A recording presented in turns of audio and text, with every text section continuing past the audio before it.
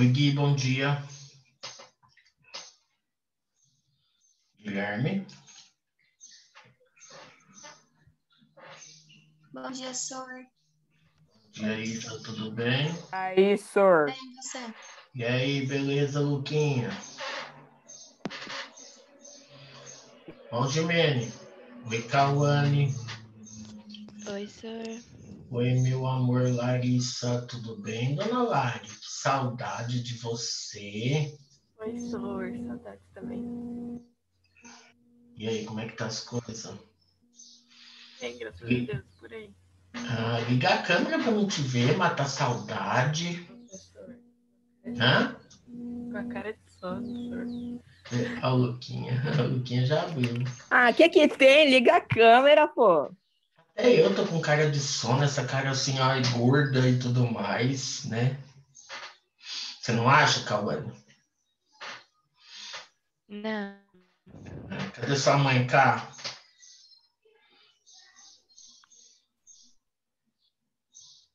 Tá? Cauane? Ela tá mexendo no celular, senhor.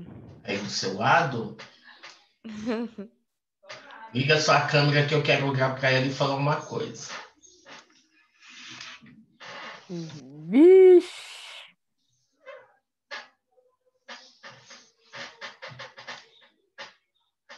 Ixi, ela nem tchumou, Cauane.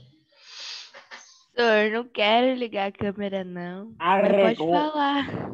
Ah, então tá bom. Fala pra ela que ficou faltando uma, uma quarta pessoa. Que eu fiquei muito. Arregou. Pode falar pra ela, tá? Como assim? Ficou, Oiê. fal- ficou faltando uma quarta pessoa. Ela vai entender. Que eu fiquei muito triste. Ah, quarta pessoa? É, porque só tinha três, um com J, um com A e o outro com K. É. Aí ficou faltando um com, outro com A. É que eu fiquei sabendo que você foi lá no final de semana. Então, olha, mas foi assim, uma coisa meio louca, né? Porque é, eu fui ver um. Fui num, num condomínio um pouco para frente, ela deve ter comentado com você. Né? Aí eu tava lá na porta, aí eu É. liguei para ela, ela tava, eu falei assim, ô filha, abre o portão aí para mim entrar, enchendo o saco dela. Ela falou, você vai vir? Eu falei, vou. Eu, olha, eu conheço a Andréia há anos, né? Nunca tinha ido É. lá. Aí eu entrei e fui lá ver ela. Ela "Ah, ficou super feliz. Aí eu imagino. Eu pedi uma encomenda para me levar para ela hoje. Vamos ver se vai chegar. Dia 16 Tá. ela quer que a gente vá lá.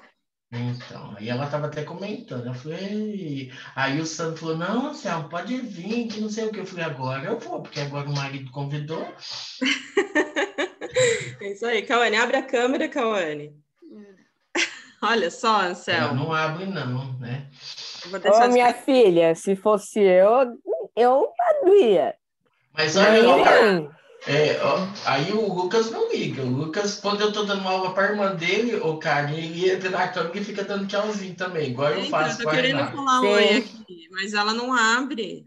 E outra, a gente já viu a cara dela faz três anos já. É, É, não então. muda muita coisa, né?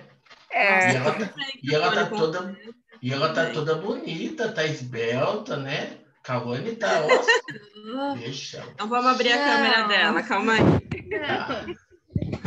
Oi, Vitória, bom dia. Desculpa, filho, nós estamos aqui brincando. Eu nem falei bom dia para você, não falei bom dia pro Breno, né? Ah, então tá bom. Oi, Júlia, tudo bem? Ah, senhor, que bom, viu? Porque eu já ia falar, Ah. nossa, foi ignorada com sucesso. Oi, senhor, tudo bem? Tudo. Eu não ia falar bom dia para você, Júlia. Eu estou Não? muito triste. Por quê, senhor? Porque sexta-feira passada alguém me deu um perdido. Senhor, mas eu estava, eu estava. Entendeu? Eu não estava Foi em mesmo, foi mesmo.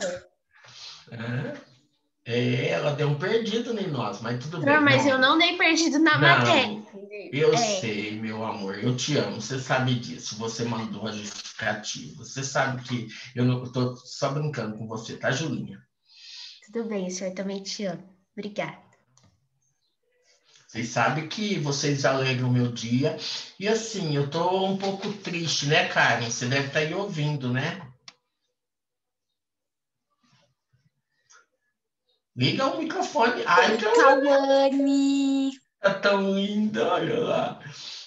A, a unha dela como sempre, né? A unha dela como sempre, né? Olha lá, viu? Igualzinha Ele abre a câmera que ele quer ver sua unha. Olha lá.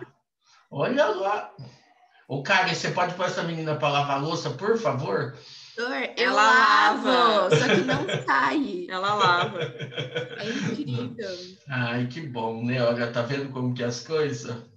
Ai, Ah, gente, tá vamos bom. fazer um churrasco? Ai, vamos, né? Ô, Karen, que eu tô falando, Opa, opa, churrasco, aí sim. porque o, o ano que vem eu não vou dar aula para essa turma, eu já tô sentindo, porque eu tenho uma paixão louca por eles, né? Eu não sei por que que você não vai. Ah, não. É no, ano, né, Karen? Não sei por Quem quê. que vai dar? O Marcelo. Ah, Eu só Ah. tenho, eu só tenho sexto, Ah, sétimo e oitavo. Você viu o A, né? É. Graças a Deus, né, eles falaram, né? Eu não vou É. aparecer porque ela não deixa, tá bom? Beijo, Tá bom. Beijo, tchau, tchau. Mas vocês sabem disso. Vocês sabem que eu tenho um carinho muito grande por vocês, né?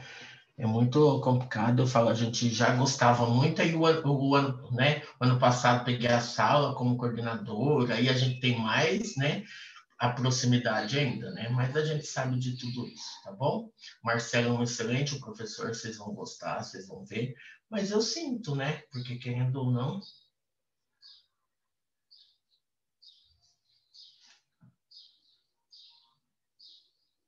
Hum, obrigado, Isa. Então tá, vamos lá que hoje literalmente nós temos que terminar a apostila, tá bom? Porque aí tem alunos, por exemplo, aí só fica algumas atividades para a gente corrigir na sexta-feira que vem, tá bom? Vamos lá? Vocês têm uma tarefa para me apresentar. Se não me engano, é a tarefa 29, que fala sobre os atuais governos. Lembra que eu falei para vocês que não precisava pintar de vermelho, de democratas e tudo mais, aquela coisa era mais para pintar o quê, né? Nem direita, nem esquerda, era mais para escrever o nome dos presidentes, né? Dos atuais governos, tá bom? Então vamos lá. Quem fez? Luca. Cauane fez. Eu vou pedir o seguinte, Cá, você quer ler? Lucas, você quer ler? A gente faz o seguinte, vocês vão lendo aí, eu vou falando o nome e vocês vão lendo, tá bom? Pode ser? Então vamos lá. A Cauane fala um, o Lucas fala outro, a Júlia fala outro e assim sucessivamente, tá bom? Então vamos lá. Canadá, Eu coloquei. Justin Trudeau. Isso. Isso. Ô, Lucas, você larga a mão de cortar, viu? Deixa um, um por vez, tá? Porque senão não vai. Até eles falar, você já respondeu dois, então aí não vale, tá bom? então vamos lá. Estados Unidos, Cauane. Donald Trump. Cuba, Júlia.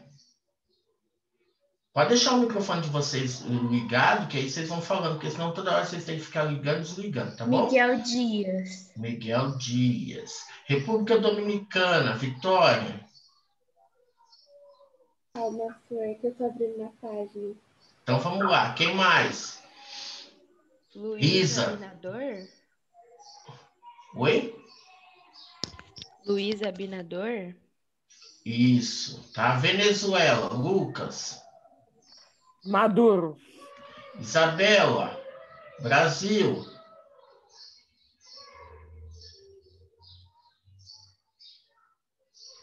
Jair Bolsonaro. E Paraguai, vamos lá, Júlia. Senhor, peraí que eu tô procurando, tá? É embaixo, ó, tá seguindo. Mário Abdo Benítez. Uruguai, Lucas. Lu- Uruguai. É, Luiz. Alberto. Luiz Alberto, alguma coisa que eu nem consegui entender mais. Vitória, Argentina. Alberto. Então vamos lá, ó. México. Andrés, Ma... Andrés Manuel Lopes. Guatemala.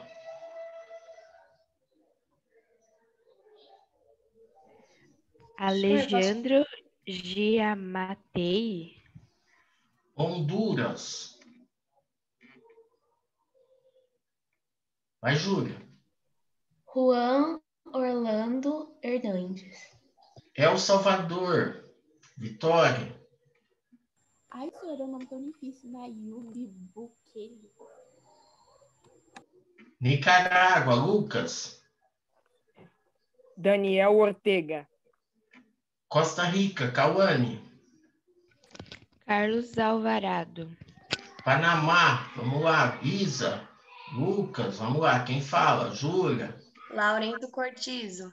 Isso. Colômbia. Júlia. Ivan Duque Marques. Equador. Lucas. Benim Moreno. Peru. Larissa fez lá. Quer falar de, do Peru? Então vamos lá. Quem pode falar? Martim. Bolívia. Luiz. Chile. Sebastião Pinheira. Muito bem.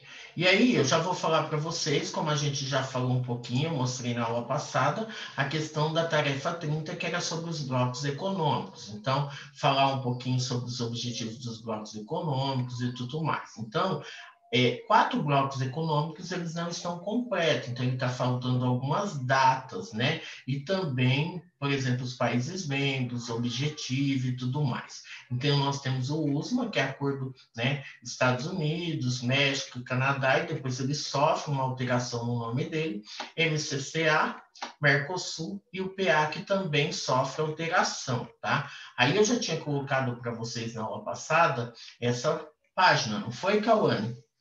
Aí eu mostrei para vocês, se vocês quisessem dar print para estar ajudando vocês e tudo mais. Então, ó, os quatro blocos, MCCA, a criação foi em 1960, os países membros é Costa Rica, El Salvador, Guatemala, Honduras e Nicarágua.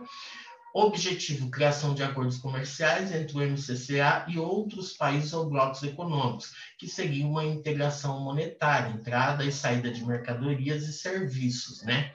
Depois nós temos a Comunidade Andina de Nações, que ele substituiu o Pacto Andino, porque o Pacto Andino era de 1969, né?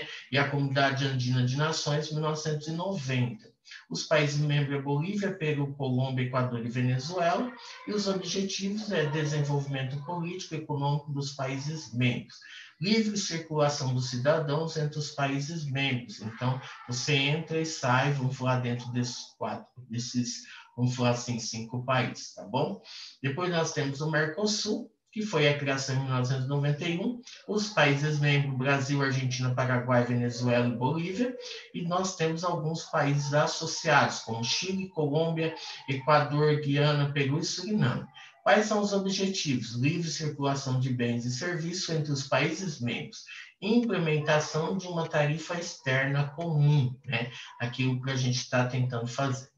E aí nós temos o USMA, né, que seria que, que até mudou, né, que era a criação em 2018, Estados Unidos, México e Canadá. Livre comércio, eliminação de barreiras alfandegárias e redução dos fluxos de imigrantes ilegais. Então, ou seja, uma forma de fiscalizar. Aí nós temos as três questões, né, que seria, né, qual bloco reúne países da América Latina América Anglo-Saxônica, né, nós temos o USMAS, né, que seria literalmente qual, né, Estados Unidos e Canadá Anglo-Saxônica e México América Latina. Existe algum outro bloco que envolve os países americanos? Sim, né, vários parceria transpacífica, né, que seria tanto do Oceano Atlântico, vamos falar aquela região do Pacífico e tudo mais. Quais países americanos fazem parte desse bloco? Nós temos Canadá, México, Peru, Chile. Né? Os Estados Unidos deixaram o bloco em 2017, tá? Então ele sai desse bloco porque não era interessante para ele, tá bom? E aí nós temos a tarefa de número 31, que fala um pouquinho sobre as relações político-militares na América, tá? Ah, professor, essa atividade eu não, tinha passado assim para a gente fazer, mas aí eu falei, se vocês quisessem estar adiantando, poderia estar adiantando, tá? Que aí, senão, ela vai ficar para a gente fazer a correção na sexta-feira que vem. Então, nós temos aqui, né? Durante a aula, você pôde acompanhar o infográfico da página 42 com as informações muito importantes da política externa adotada pelos Estados Unidos. Com base nesse infográfico, faça um quadro sobre a atualidade política entre os Estados Unidos e a América Latina, seguindo este espaço. Colhe uma foto do presidente atual dos Estados Unidos, não é o que ganhou, que está, né? Que é o Donald Trump. Aí nós temos o posicionamento desse líder a respeito da América Latina, então tem a questão da supremacia, tem a questão dele né, cortar, por exemplo, né, a entrada de pessoas, é, ele tem uma ligação muito forte em termos né, de, de produtos, né, que ele compra uma grande parte de matérias-primas desses países e tudo mais. Qual é a política adotada? Parcerias e algumas polêmicas, né? Então, nas polêmicas, a gente pode até citar né, a questão do, da construção do muro e vários outros, tá? E a tarefa 32, tá? Então, a 31 e a 32, para quem não fez, é legal que eu faça, né? Áreas de resistência no continente americano. Então, aqui são algumas áreas onde aparecem as guerrilhas, né? Principalmente, ó, observe no mapa abaixo, podemos identificar várias áreas de resistência em relação à política estadunidense. Então, por exemplo, essas guerrilhas, né, essas resistências, é referente, por exemplo, à entrada dos Estados Unidos dentro desses países, né? Então, nós temos como exemplo nesse período da Guerra Fria, que foi de 1900, né, 1945 até por volta de 1990, né? Foi nesse período que a grande maioria aconteceu.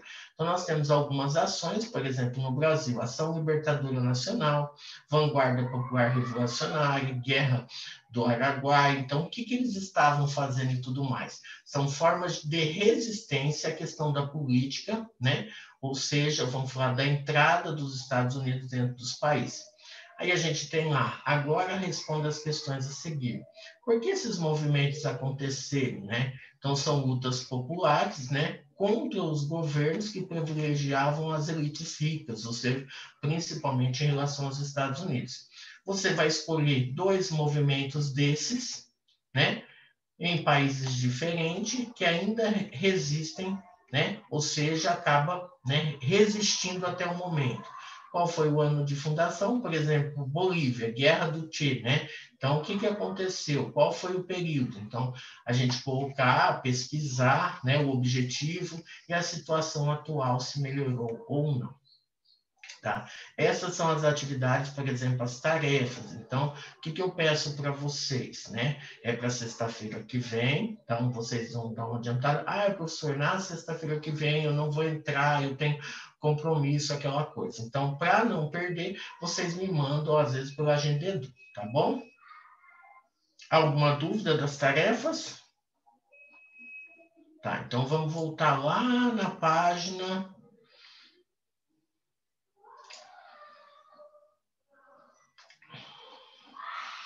na página 37, tá? Então, nós vamos falar sobre as relações geopolíticas na América. Pega aí, página 37. O que, que seriam essas relações geopolíticas? Então, a gente cita bastante o processo de globalização né, nascido nos anos 80, mas só que a gente não pode esquecer, né, que esse processo de globalização, com a terceira revolução industrial, a revolução técnico-científica e tudo mais, né, a partir de 1980, mas a gente sabe que todo esse processo, essa divisão internacional do trabalho, ela vem desde, vamos falar assim, do surgimento do capitalismo, né, ou seja, aquela forma de vender o produto, de ter mais mercado e tudo mais, isso vem desde aquela época. Deixa eu perguntar uma coisa para vocês. Cauane, você estava na aula passada?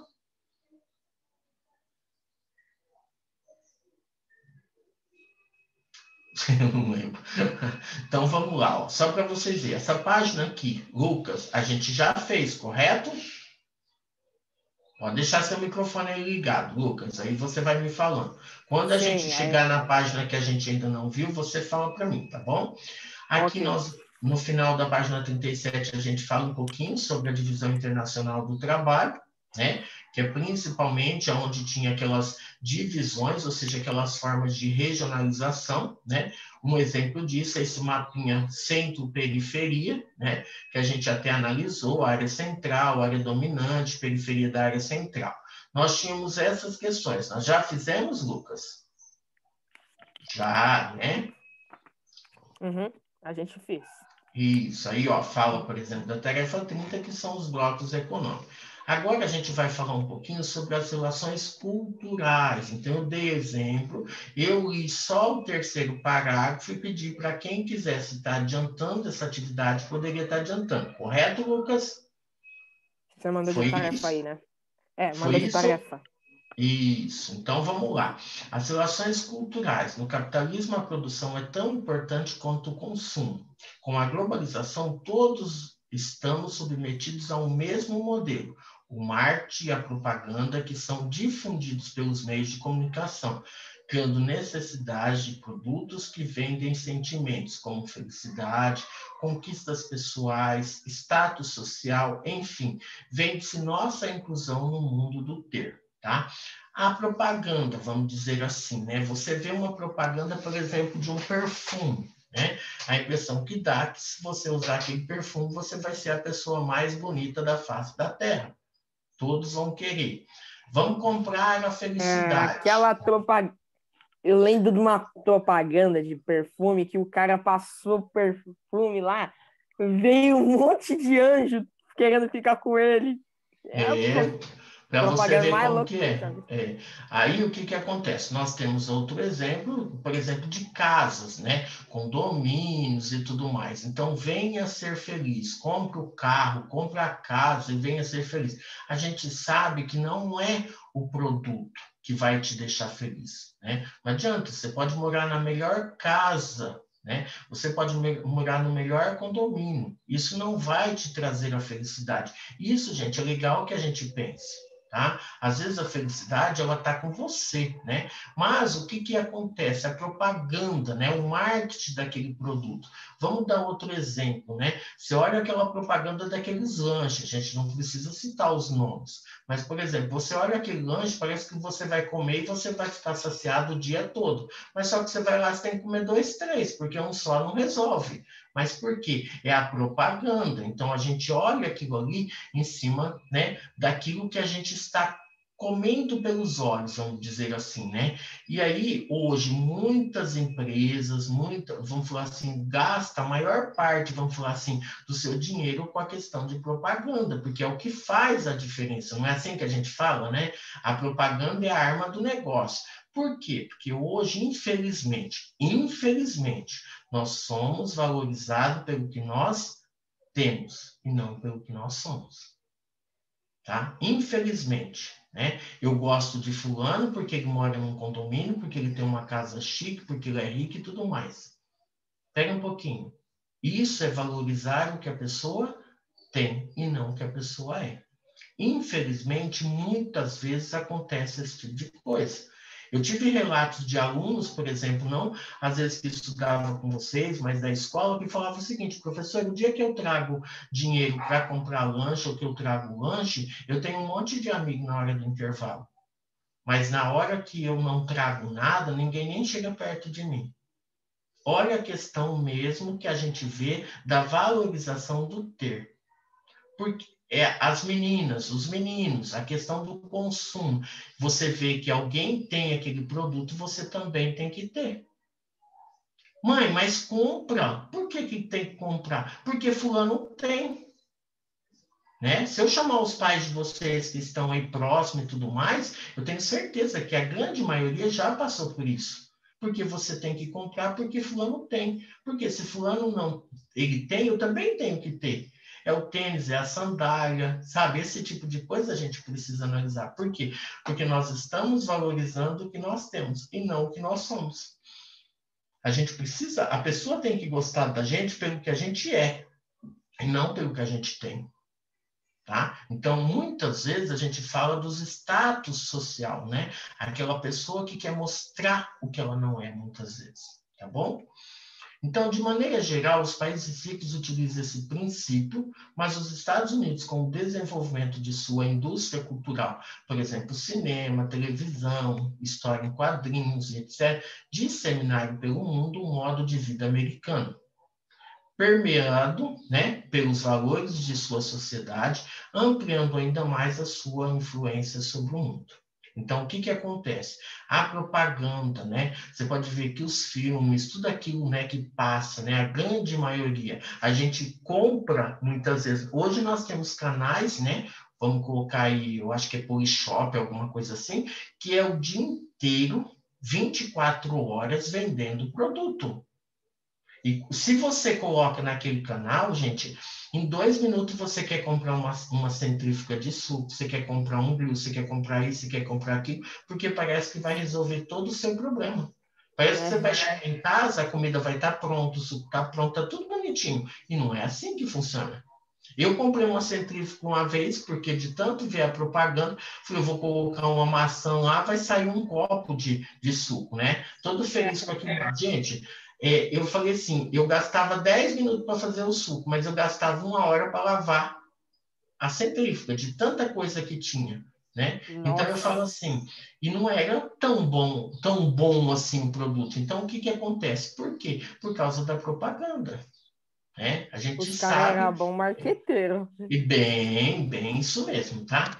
Então, assim, você acaba tendo toda essa venda de produto, essa propaganda, tanto no cinema, na TV, né, nas histórias em quadrinhos como um todo.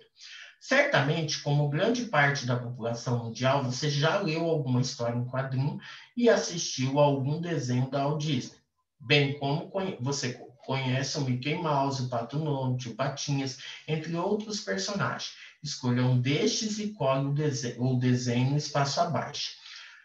Alguém fez essa atividade? Quem mais, né? Lucas, você escolheu o quê? O Superman. O Superman. Analise o personagem que você escolheu. Comente como ele favorece a divulgação do modo de vida norte-americano. O que, que ele divulga? O que, que ele mostra? Ah, é como se ele fosse uma espécie de propaganda do sonho americano. Olha só, o herói patriota, o herói que luta pelo seu país, que faz isso e aquilo, sei lá. Ou seja, o super americano.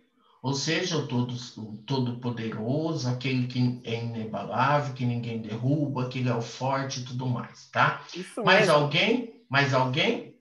Cauane, você escolheu outro? Eu fiz do Mickey, senhor, mas eu não sei se eu escrevi tá certo. Você quer ler ou não?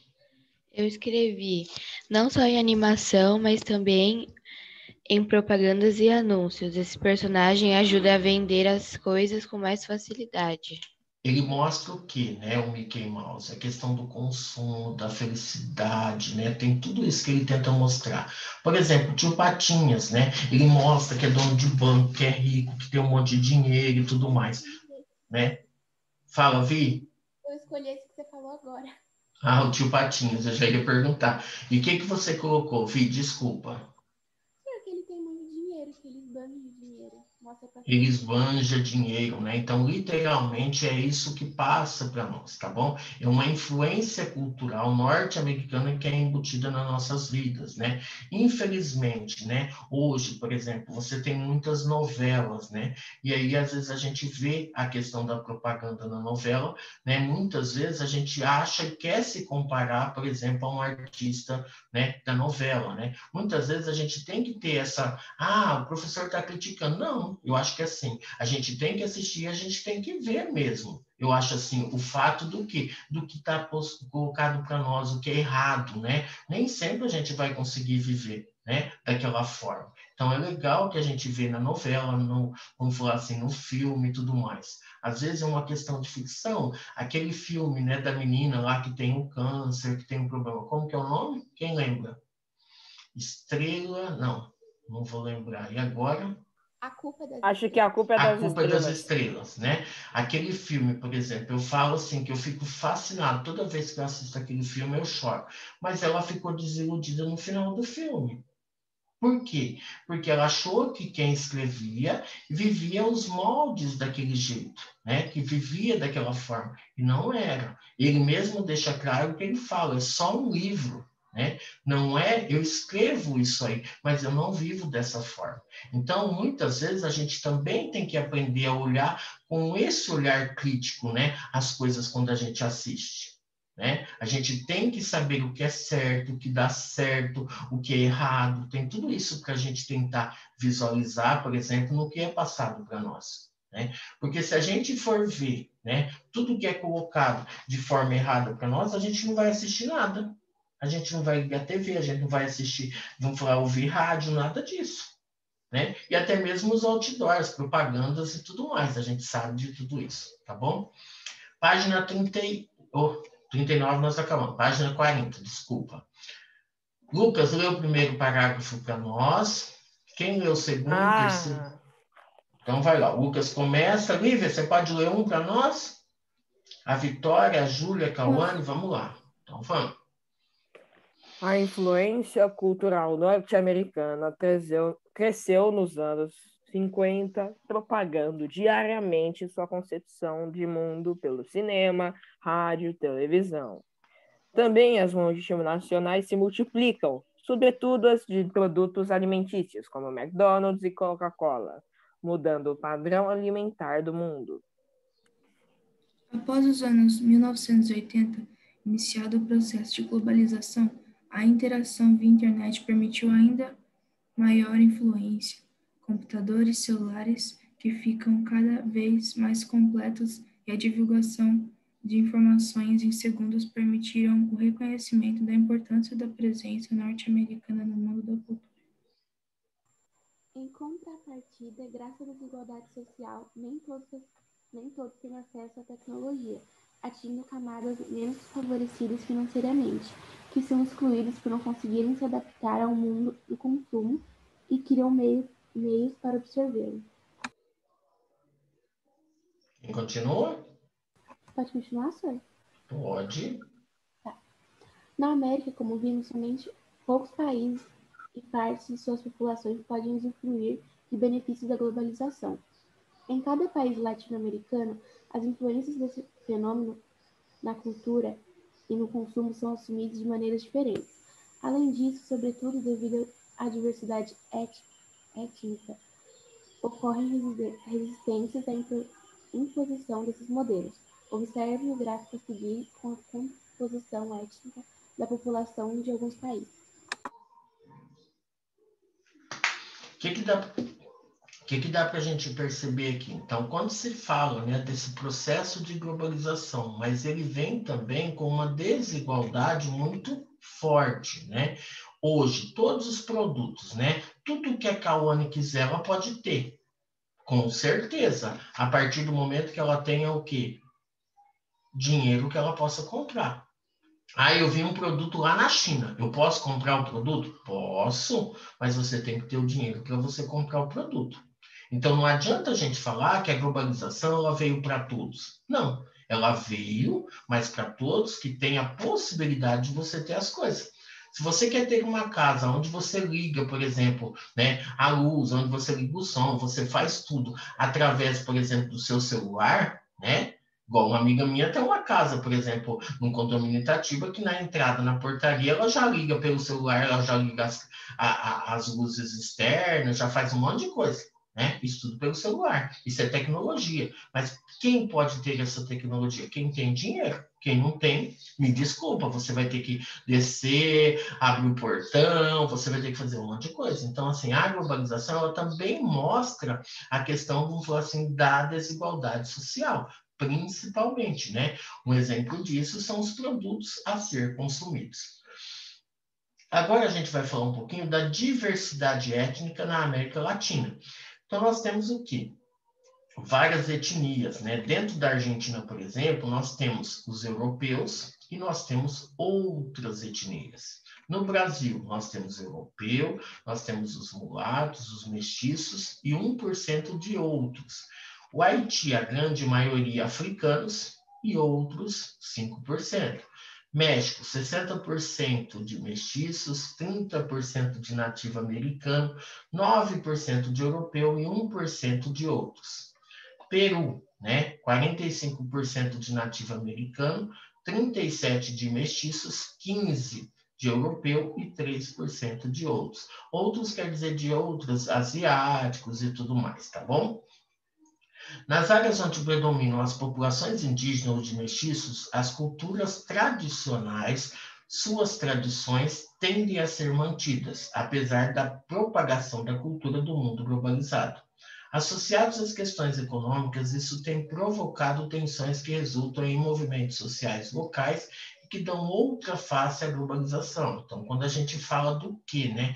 De você manter aquela cultura. Nós temos países que onde a sua grande maioria são nativos, então eles ainda conseguem, por exemplo, ter o que ali? Eles ainda conseguem, é, principalmente, né, manter as suas tradições mas de uma forma jamais aculturada. Se você pegar o processo, por exemplo, dos indígenas brasileiros, uma grande parte dos indígenas já sofreu o processo de aculturação. Não é à toa que muitos já estão até como deputados, como vereadores e tudo mais. Então, o que, que acontece naquelas regiões onde tem maior quantidade? Então, a gente consegue visualizar essas diferenças que se tem, mas também tentando entrar nesse processo de globalização. Ou, por exemplo, se eu perguntar para vocês, antigamente, a mãe da Cauane vai lembrar, a gente brigava às vezes, principalmente com os alunos, né? Eu que sou um pouquinho mais mais velho dentro da educação, a gente sempre brigou para que o aluno não usasse o celular. Hoje, literalmente, a gente precisa brigar para que o aluno use o celular para que faça as atividades pelo celular. Então, olha a inversão muitas vezes, né? Eu até estava brincando, ontem eu recebi uma charge show de bola. Lá nos anos 90, como que o aluno matava a aula? Ele ia para a escola, pulava o muro e ia embora. Hoje, como que o aluno mata a aula?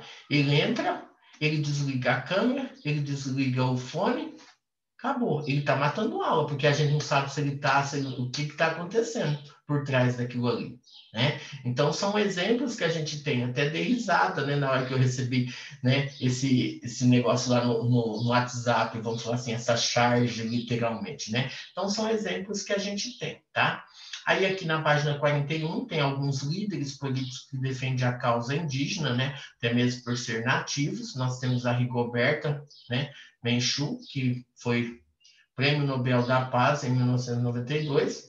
Ivo Morales, que é o presidente da Bolívia, Felipe Quios, Movimento Indígena, a Confederação das Nações Indígenas do Equador, e o Marcos, que seria das Chiapas. Né? Então, são alguns líderes que representam essa população indígena, né? que defende essa população.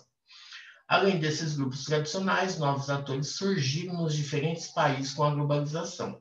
São, sobretudo, os ecologistas preocupados com o exagero na produção e no consumo, que desencadeiam várias questões ambientais, como o esgotamento das reservas naturais, por exemplo, o desmatamento da Amazônia. O controle da poluição, os Estados Unidos se recusam a assinar o acordo de diminuição do CO2, ou seja, a questão de lançar né, a questão dos poluentes, né? E as questões ligadas ao lixo produzido pelo alto nível de consumo, desde restos orgânicos até o lixo eletrônico e espacial. Nós lemos um texto lá atrás falando do lixo.com. Lembra que a gente pegava o lixo né, nos Estados Unidos e levava para onde? Para o continente africano. Quem lembra desse texto? Né? Então, são exemplos que a gente acaba analisando tá? E uma coisa que chama atenção quando eles falam aqui do aparecimento dessas ONGs e tudo mais, né? Ó, também nas cidades com urbanização acelerada e precária, vários movimentos procuram participar cada vez maior da sociedade civil, inclusive com a constituição de ONGs, né? Que são organizações não governamentais que defendem questões de moradia, mobilidade, acesso à cultura e etc. tem gente que, às vezes, quando a gente vai no centro de Jundiaí, tem um grupo que é do Greenpeace, não sei se vocês já viram ali naquela região do banco, né? Eles ficam parando a gente, falando, entregando folheto e tudo mais, falando da poluição, tá? Então, são exemplos que a gente tem. Aí nós vamos falar um pouquinho sobre as relações político-militares. O que, que seriam essas relações político-militares? É o domínio colonial da exploração da América Latina deixou marcas profundas na estrutura dessas nações americanas capitais concentradas, por exemplo, na mão né, os capitais na mão de uma elite, ou seja, dinheiro, né, a questão mesmo concentrado, descendentes dos colonizadores europeus, que dominam as atividades econômicas, enquanto a maioria da população não tem terras. As relações de trabalho são precárias e os serviços sociais, tal como educação, saúde, não recebem o investimento necessário para atender a todos. Isso a gente vê na nossa, né, no nosso dia a dia. Júlia, você continua para nós? Continuo, senhor. É, tá em tensões sociais, né? Isso. Tensões sociais, assim, sempre ocorreram nos, nos vários países, mas assumem um caráter mais constante com a Guerra Fria. Os ideais socialistas se disseminaram a uma maior organização dos trabalhadores e, diante de um quadro de tanta desigualdade, a União das, das Repúblicas Socialistas Soviéticas, inter, interessada na ampliação de seu domínio ideológico e político, se, se dispôs a treinar lideranças para a Revolução Socialista, suprimindo a população com armas e dinheiro. Pode continuar? Pode. Do mesmo modo, os Estados Unidos, defensores do capitalismo, aliados tradicionais dos governos de elite da região, disponibilizam dinheiro, armas e o treinamento de soldados latino-americanos com o propósito de controlar o sistema econômico e político da América. Isso. Então, se a gente está falando né, dessa relação política militar, a gente envolve a questão econômica, né? Por que, que a gente envolve? Aqui dá um exemplo da disputa no período da Guerra Fria, principalmente pelo capitalismo e socialismo que nós também já estudamos lá atrás. Então, você acaba suprindo né, a população com armas, dinheiro e tudo mais, para você embutir o seu sistema político, né, através da questão militar. Então a gente acaba analisando tudo isso, né? O capitalismo, por exemplo, os Estados Unidos, a questão da briga, por exemplo, com Cuba, né? E vários outros exemplos que a gente tem de tentar embutir a sua política, a sua economia, vamos falar assim, perante o restante do continente e até do mundo, tá? Aí a gente tem, veja no mapa a seguir, algumas das intenções norte-americanas na América, né? Então, nós temos lá, né? No começo do século XIX, os Estados Unidos, começo do século XIX, nós estamos falando lá em 1800, tá? Os Estados Unidos reivindicam seu direito de intervir nas relações da América Latina para favorecer seus interesses. A expansão de mercados,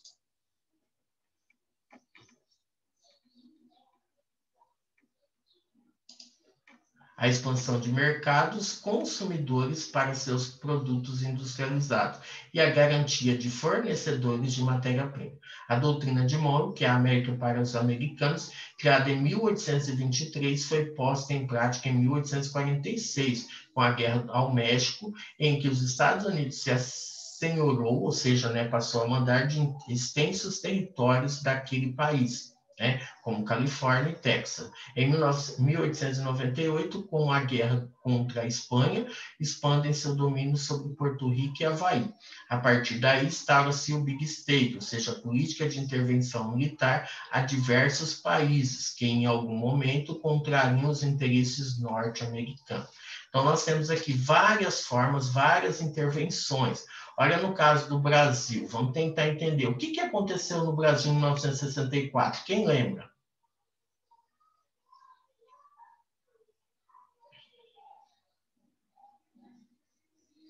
Lucas, seu microfone está desligado.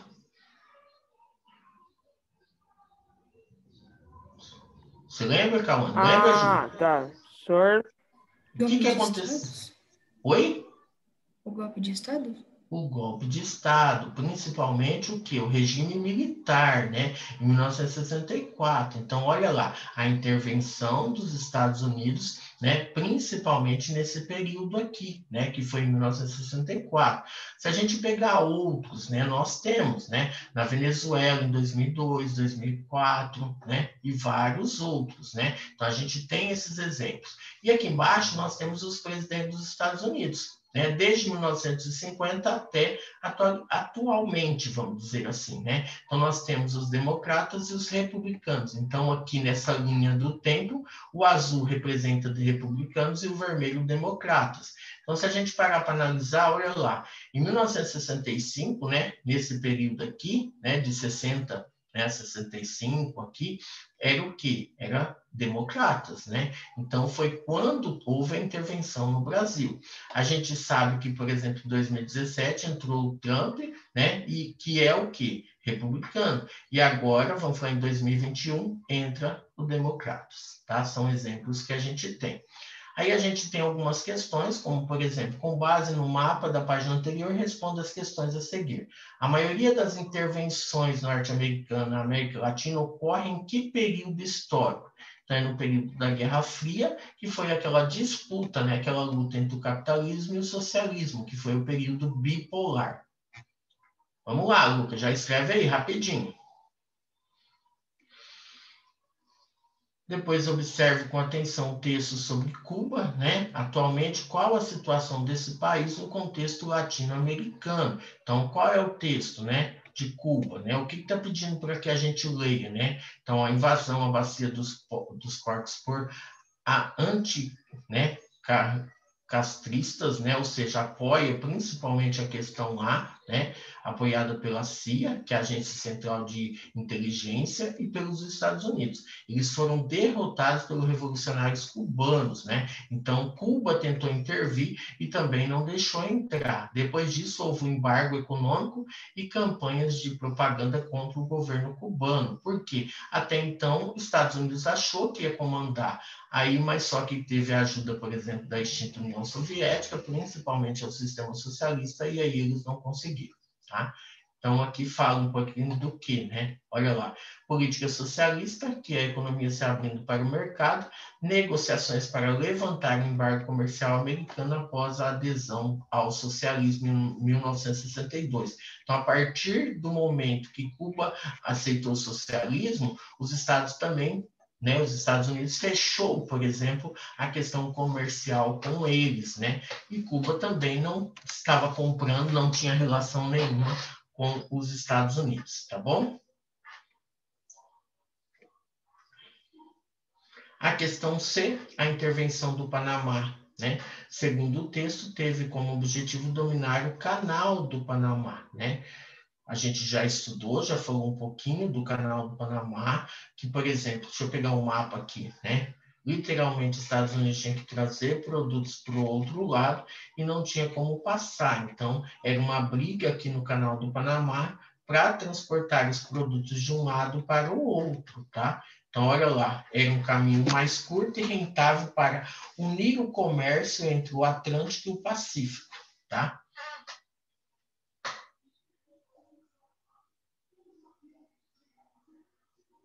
E a questão D, na América do Sul, estabilidades políticas ainda estão presentes. Faça uma pesquisa sobre a situação atual da Venezuela, né?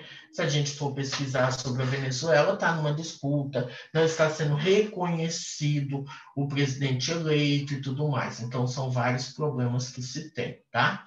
Então, essa atividade aqui da D, vocês não conseguem responder nesse momento, vocês vão ter que fazer uma pesquisa. Então, vai ficar a tarefa 31, a tarefa 32 e a pergunta D para vocês estarem terminando, tá bom?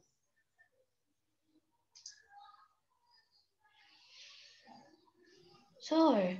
Oi, pode falar, Julinha. Você pode lá para cima só para tirar um print? Obrigada, senhor. Deixa eu diminuir aqui, Ju, que aí você pega a página inteira, pode ser? Aí. Pode, senhor. Obrigada. De nada.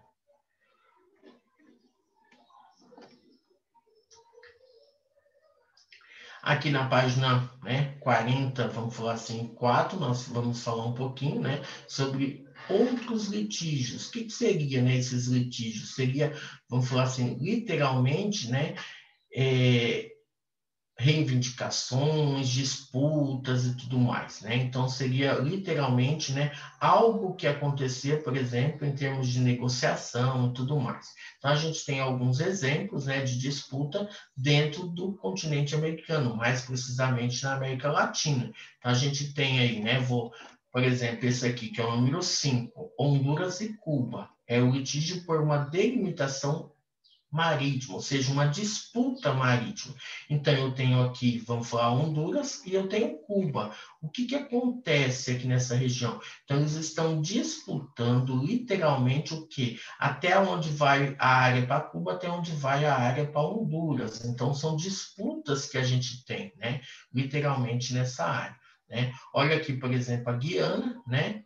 Se a gente parar para analisar, ó, o número 4 e 6 aqui, né? Ó, o 4 o que, que o 4 representa? Venezuela e Guiana disputa por 160 mil né, quilômetros da região do Ezequiel, né, que está sob a soberania da Guiana e é reivindicada pelos venezuelanos. Então, olha lá as brigas que se tem, né, os conflitos né, que se tem, literalmente, tá? E aí nós temos na página 45 que fala um pouquinho sobre as disputas sobre as fronteiras que dá outro exemplo também sobre isso. Como que a gente poderia estar falando, né? Quais outras reivindicações territoriais existem? Quais outros problemas que existem?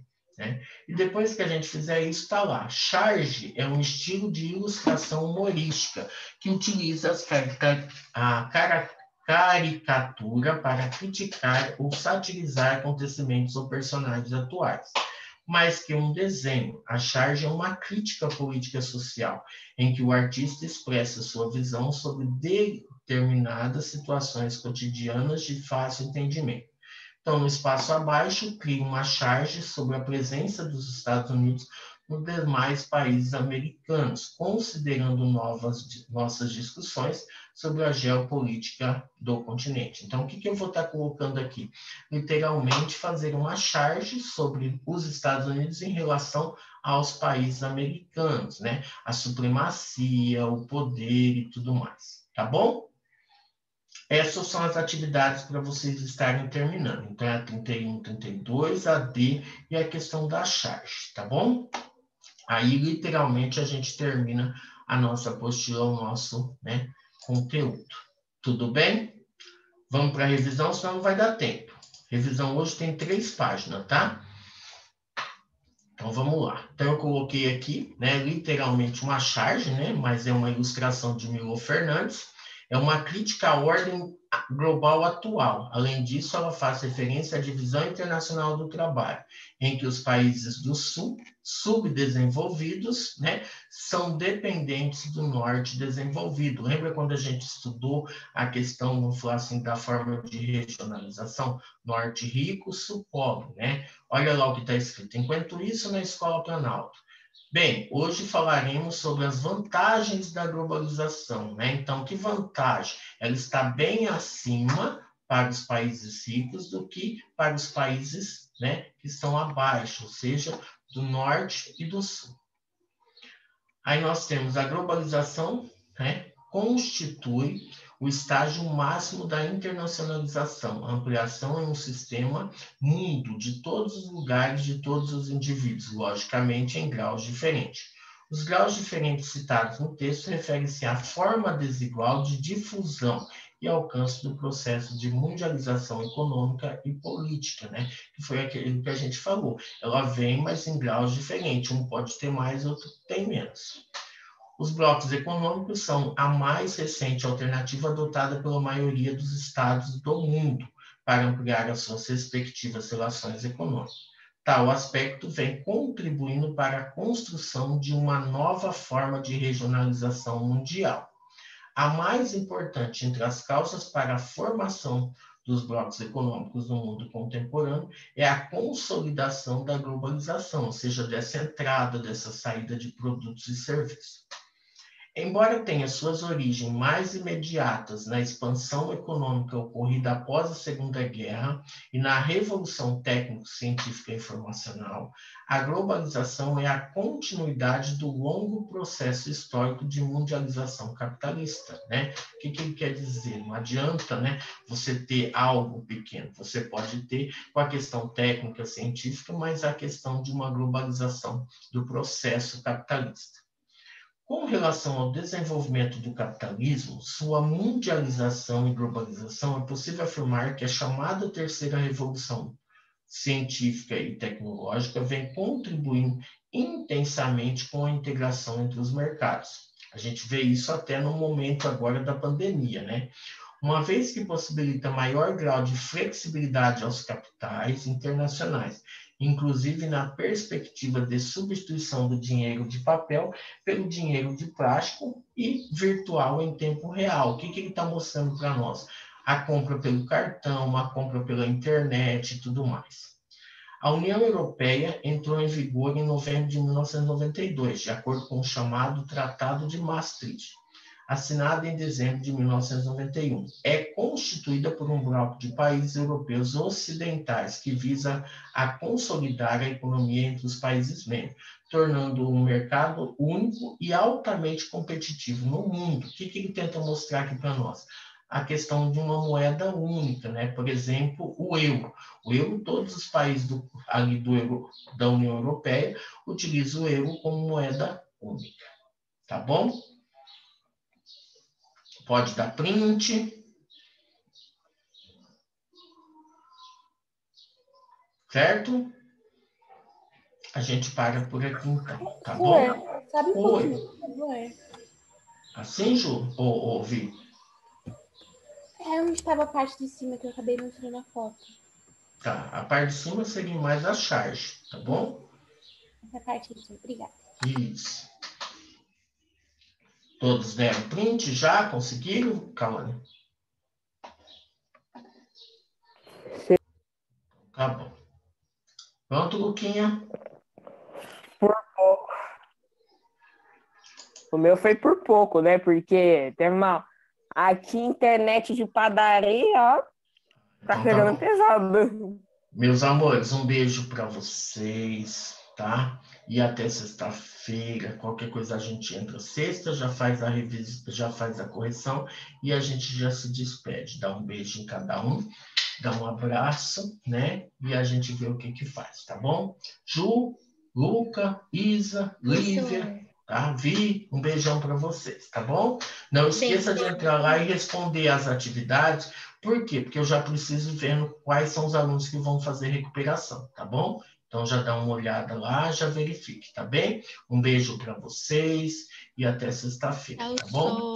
Beijo, Beijo. Sor. Tchau, Até. beijo. Semana que vem. Tchau, tchau. Beijão. Tchau, tchau. Semana que vem. Beijo. Tchau, beijo. Tchau, Tchau, tchau.